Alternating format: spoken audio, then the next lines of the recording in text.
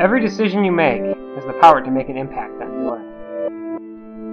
When you choose to drink, choose to end the game early.